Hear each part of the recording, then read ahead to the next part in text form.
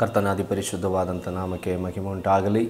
ಅನುದಿನವೂ ಯೇಸುವಿನೊಂದಿಗೆ ಎಂಬಂಥ ಈ ಒಂದು ಕಾರ್ಯಕ್ರಮದಲ್ಲಿ ಮತ್ತೊಂದು ಆವರ್ತಿ ನಿಮ್ಮನ್ನು ಸಂಧಿಸೋದರಲ್ಲಿ ನಾನು ತುಂಬ ಸಂತೋಷವುಳ್ಳವನಾಗಿದ್ದೇನೆ. ಈ ಬೆಳಗಿನ ಸಮಯ ಆಮೆ ಸ್ತೋತ್ರ ನಮ್ಮೊಂದಿಗೆ ಕರ್ತನು ಮಾತಾಡುವುದಕ್ಕೆ ಬಯಸುವಂಥ ಒಂದು ವಿಷಯ, ಆಮೆ ಸ್ತೋತ್ರ ವಿಧೇಯತೆ. ವಿಧೇಯತೆ ಅನ್ನುವಂಥದ್ದನ್ನು ವೇದ ಪುಸ್ತಕದಲ್ಲಿ ಆಮೇಲೆ ಸುಮಾರು ಕಡೆಗಳನ್ನು ನಮ್ಮ ಕಾಣೋದಕ್ಕೆ ಸಾಧ್ಯ. ಆಗ ನಮ್ಮ ದೇವರಿಗೆ ಇಷ್ಟವಾದಂಥ ಒಂದು ಕಾರ್ಯ ಏನಪ್ಪ ಅಂತಂದರೆ ವಿಧೇಯತೆ. ಈ ವಿಧೇಯತೆ ಅನ್ನೋಂಥ ವಿಷಯದಲ್ಲಿ ನಾವು ಕಲಿಬೇಕಾಗಿರುವಂಥದ್ದು ಏನಪ್ಪ ಅಂತಂದರೆ ವಿಧೇಯತೆ ಎಂಬಂಥದ್ದು ಒಂದು ವ್ಯಕ್ತಿಯ ಒಳಗಡೆ ಆಮೇಲೆ ಸ್ತೋತ್ರ ಇಲ್ಲದೇ ಇರುವಂಥ ಒಂದು ಕಾರ್ಯವಾಗಿದೆ. ವಿಧೇಯತೆ ಅನ್ನುವಂಥದ್ದು ಆಮೇಲೆ ಒಂದು ಸಾಮಾನ್ಯ ಮನುಷ್ಯನ ಒಳಗಡೆ ಆಮೇಲೆ ಇಲ್ಲದೇ ಇರುವಂಥ ಒಂದಾಗಿದೆ. ಆಗ ವಿಧೇಯತೆ ಅನ್ನುವಂಥ ಆ ಒಂದು ಆ ಸಾರಾಂಶವನ್ನು ನಾವು ತಿಳ್ಕೊಳ್ಬೇಕು ಅಂತಂದರೆ ವಿಧೇಯತೆಯಲ್ಲಿ ಯಾವ ಒಂದು ಕಾರ್ಯವನ್ನು ನಾವು ಮಾಡಬೇಕು ಅನ್ನುವಂಥದ್ದನ್ನು ನಾವು ಈ ಸಮಯದಲ್ಲಿ ತಿಳ್ಕೊಳ್ಳೋದಕ್ಕೆ ಹೋಗೋರಾಗಿದ್ದೇವೆ. ಈಗ ಒಂದು ಯಜಮಾನನಿದ್ದಾನೆ. ಯಜಮಾನನು ತನ್ನ ಕೆಲಸಗಾರನಿಗೆ ಹೇಳ್ತಾನೆ, ನೀನು ತೋಟಕ್ಕೆ ಹೋಗಿ ಆಮೇಲೆ ಹಣ್ಣುಗಳನ್ನು ಕಿತ್ಕೊಂಡು ಬಾ ಎಂಬುದಾಗಿ. ಆದರೆ ಸೇವಕನು ತನ್ನ ಒಂದು ಕಾರ್ಯಗಳನ್ನು, ತನ್ನ ಒಂದು ಇಚ್ಛೆಗಳನ್ನು, ತನ್ನ ಒಂದು ಸಮಯಗಳನ್ನು ಅದನ್ನೆಲ್ಲ ಬದಿಗೊತ್ತಿ ಯಜಮಾನನು ಹೇಳಿದಂಥ ಕಾರ್ಯವನ್ನು ಕೇಳಿ ಅದನ್ನು ಹೃದಯದ ಒಳಗಡೆ ಅಂಗೀಕಾರ ಮಾಡಿ ಅದನ್ನು ಪ್ರಾಯೋಗಿಕ ತಲದಲ್ಲಿ ಕ್ರಿಯಾತ್ಮಕವಾಗಿ, ಆಮೇಲೆ ಸ್ತೋತ್ರ, ಅದನ್ನು ಯಜಮಾನನು ಹೇಳಿದ ರೀತಿಯಲ್ಲಿ ಕಣ್ಮುಂದೆಗಡೆ ಪ್ರೆಸೆಂಟ್ ಮಾಡುವಂಥ ಒಂದು ರೀತಿ ಅದು ವಿಧೇಯತೆ. ಆಗ ವೇದ ಪುಸ್ತಕದಲ್ಲಿ ದೇವರ ವಾಕ್ಯದಲ್ಲಿ ನಮಗೆ ಕಾಣೋದಕ್ಕೆ ಸಾಧ್ಯ. ಅನೇಕರು ವಿಧೇಯತೆ ಪಟ್ಟಿದಂಥವರು ಉಂಟು, ಅನೇಕರು ಅವಿಧೇಯರಾಗಿ ನಡ್ಕೊಂಡಂಥವರು ಕೂಡ ಉಂಟು.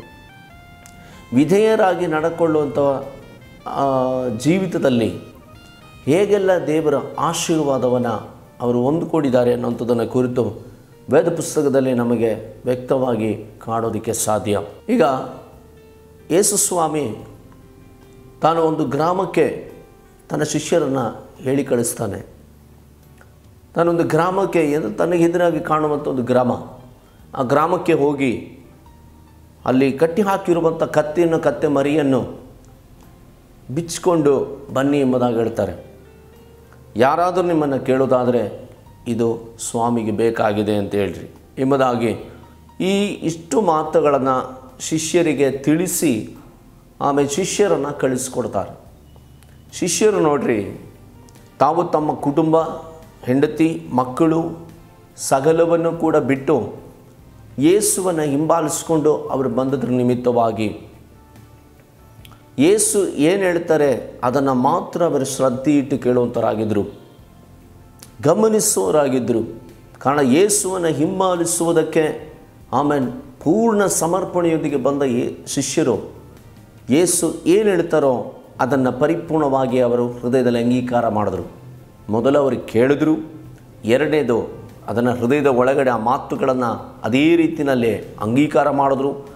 ಮೂರನೇದಾಗಿ ಅದನ್ನು ನೆರವೇರಿಸೋದಕ್ಕೋಸ್ಕರ ಅವರು ಸ್ಟೆಪ್ಪುಗಳನ್ನು ಮುಂದಿಟ್ಟರು ಸ್ತೋತ್ರ.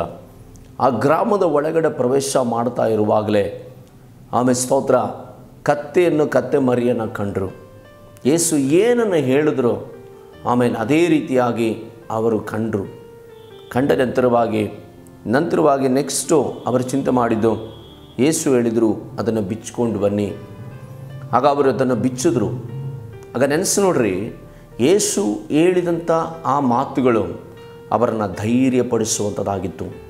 ಯೇಸು ಹೇಳಿದಂಥ ಮಾತುಗಳಲ್ಲೇ ಇವರು ಪರಿಪೂರ್ಣವಾಗಿ ಟ್ರಸ್ಟ್ ಆಗಿದ್ದರು ಆಮೇಲೆ ಯೇಸು ಹೇಳಿದಂಥ ಆ ಮಾತು ಅವರನ್ನು, ಆ ಕಾರ್ಯವನ್ನು ಮಾಡೋ ರೀತಿಯಲ್ಲಿ ಅವರನ್ನು ಬಲಪಡಿಸಿದ ಸ್ತೋತ್ರ. ಈ ಸಂದರ್ಭದಲ್ಲಿ ನೆನೆಸು ನೋಡೋದಾದರೆ, ಅವರು ವಿಧೇಯ ಪಡೋದಕ್ಕೆ ನಂಬಿದ್ರು ವಿಧೇಯ ಪಟ್ಟು ಅದನ್ನು ಪ್ರಾಕ್ಟಿಕಲಿ ಮಾಡೋದಕ್ಕಾಗಿ ಅವರು ಮುಂದಾದರು. ಆ ಸಂದರ್ಭ ದೇವರವರನ್ನು ಬಲಪಡಿಸಿದ್ರು ಸ್ತೋತ್ರ. ಆ ಕತ್ತೆಯನ್ನು ಕತ್ತೆ ಮರಿಯನ್ನು ಬಿಚ್ಚಿದ್ರು. ಕತ್ತೆ ಮರಿಯನ್ನು ಪ್ರೈಸರೋಡು ಹಿಡ್ಕೊಂಡು ಬರುವಾಗ ಆ ಯಜಮಾನನು ಕೇಳ್ತಾನೆ ಯಾಕಿದನ್ನು ಬಿಚ್ಚುತ್ತಾ ಇದ್ದೀರಾ ಎಂಬುದಾಗಿ? ಆಗ ಇವರು ಹೇಳ್ತಾರೆ, ಅದು ಸ್ವಾಮಿಯವರಿಗೆ ಬೇಕಾಗಿದೆ. ಅದೊಂದೇ ಮಾತು, ಬೇರೆ ಯಾವುದೇ ಒಂದು ಮಾತಾಡಲಿಲ್ಲ. ಅದು ಸ್ವಾಮಿಯವರಿಗೆ ಬೇಕಾಗಿದೆ ಅನ್ನೋಂಥ ಒಂದು ಮಾತು ಆ ವ್ಯಕ್ತಿಯ ಮನಸ್ಸನ್ನು ಬದಲಿಸ್ತು. ಆ ಸಂದರ್ಭ ಅವರು ಕತ್ತೆ ಮರಿಯನ್ನು ಹಿಡ್ಕೊಂಡು ಯೇಸುವಿನ ಬಳಿಗೆ ಬರ್ತಾ ಇದ್ದಾರೆ ಸ್ತೋತ್ರ. ಆಗ ನೆನೆಸು ನೋಡ್ರಿ, ಯೇಸು ಹೇಳಿದ ಮಾತಿನಲ್ಲಿ ಒಂದು ಚೂರು ಕೂಡ, ಒಂದು ನೂಲಿನಷ್ಟು ಕೂಡ ವ್ಯತ್ಯಾಸವನ್ನು ಮಾಡಬೇಕು. ಶಿಷ್ಯರು ಯೇಸುವಿನ ಮಾತನ್ನು ಅದೇ ರೀತಿಯಲ್ಲಿ ವಿಧೇಯಪಟ್ಟರು ವಿಧೇಯ ಪಡೋದಕ್ಕೆ ನಾನು ನೀವು ತಯಾರಾಗೋದಾದರೆ ಖಂಡಿತವಾಗಿ ಯೇಸುವಿನ ಮಾತು ನನ್ನನ್ನು ನಿನ್ನನ್ನು ಧೈರ್ಯಪಡಿಸ್ತದೆ, ಬಲಪಡಿಸ್ತದೆ.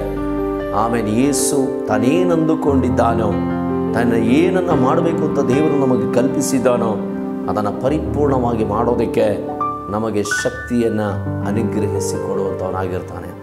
ಈ ಶಿಷ್ಯರ ಜೀವಿತದಲ್ಲಿ ಆ ಒಂದು ಪ್ರಾಕ್ಟಿಕಲ್ ಆಗಿ ಯೇಸುವಿನ ಕಣ್ಣಿನ ಮುಂದೆ ತಾನು ಹೇಳಿದಂಥ ಕಾರ್ಯವನ್ನು ತಂದು ಪ್ರೆಸೆಂಟ್ ಮಾಡಿದ್ರು.